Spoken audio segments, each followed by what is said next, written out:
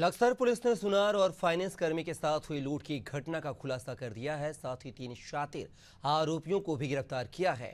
SP देहात स्वप्न किशोर सिंह ने मामले की जानकारी देते हुए बताया है कि 18 मई को ज्वेलर रोहित सैनी के साथ हुई लूट थी। लूट हुई थी, आरोपी जेवरात और नकदी लूट कर फरार हो गए थे। वहीं 20 मई को आरोपियों ने फाइनेंस कर्मी गजेंद्र के साथ लूट की वारदात को अंजाम दिया था। पकड़े गए आरोपी मुकुल, शुभम और अंकुश लक्सर के रहने वाले हैं।